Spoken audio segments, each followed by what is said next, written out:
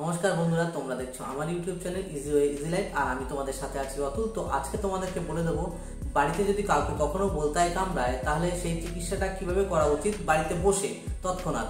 তার আগে তোমাদের কাছে ছোট্ট একটা রিকোয়েস্ট আমার এই চ্যানেলটা তোমরা অবশ্যই সাবস্ক্রাইব করে নেবে, কারণ আমি এই ধরনের হেল্পফুল ভিডিও আমার এই চ্যানেলের মাধ্যমে আপলোড করতে থাকি।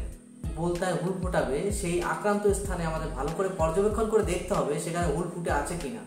যদি হুল ফুটে থাকে, অবশ্যই ওটাকে বের করে দিতে হবে। কারণ হুল ফুটানো থাকলে সেখানে পাকতে পারে, লাল হয়ে যাবে, ফুলে যাবে, ব্যথা যন্ত্রণা অতিরিক্তই হবে।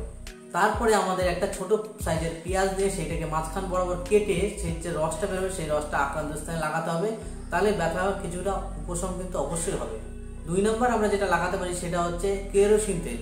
কেরোসিন তেল যদি আমরা দুই এক ফোঁটা সে আক্রান্ত স্থানে লাগিয়ে দিই, অবশ্যই সেখানে কিন্তু ব্যথা কমে যাবে।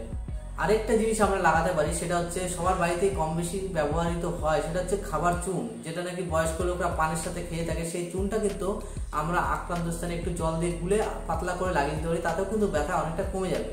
সব থেকে কার্যকরী একটা মেডিসিন যেটার নাম হচ্ছে এপিসমেল থার্টি এটা একটা হোমিওপ্যাথি মেডিসিন এই মেডিসিনটা তৈরি করা হয়েছে মৌমাছির হুলের বিষের থেকে। খুবই কার্যকরী একটা মেডিসিন আক্রান্ত স্থানে দুই এক ফোঁটা লাগিয়ে দিলেও খুব কাজ করবে এবং এক ফোঁটা করে খেলেও কিন্তু খুবই কাজ করবে। এবং এটা ব্যথা সব রকমভাবে ব্যথা কিন্তু উপশম দেবে। আশা করি তোমরা সেই জিনিসটা বুঝতে পেরেছ যে বলতে কমলে আমাদের কি করণীয়।